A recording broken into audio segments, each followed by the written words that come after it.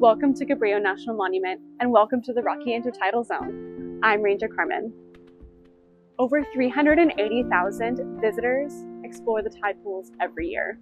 That means 760,000 feet are walking across these rocks, and another 3,800,000 fingers are reaching into the pools. During your explorations today, you'll encounter a great variety of plant and animal life, well adapted to the extremes of their environment, but not necessarily adapted to all of us humans poking around and exploring their homes. Here's how you can have fun in the tide pools and help protect its inhabitants for years to come. Do plan ahead, download the NPS app and save it offline so you can access maps and useful information. Research the tides ahead of your visit. 0.7 tides or lower are ideal for exploration at the park. You can find tide charts on the app or our website. Don't rely on your cell phone. There's no cell coverage in the coastal area or tide pools. Make and communicate your ride arrangements or meetup plans ahead of time. Do wear closed toe, grippy footwear that will help you stay on your feet and dry. When in doubt, take your cues from the crabs and get low as you walk to stay balanced. Don't wear flip flops or go barefoot.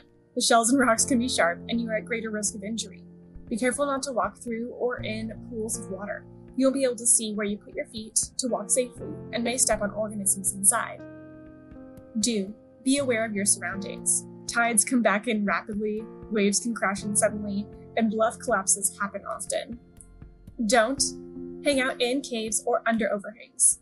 Bluff collapses are unpredictable and often very dangerous. Do observe animals where they are. Watch their natural behaviors as they interact with their environment and other organisms. Don't remove animals from their habitats. Everything you see here is alive from owl limpets to sea stars to hermit crabs, remember that these creatures are a part of their ecosystems, not an aquarium.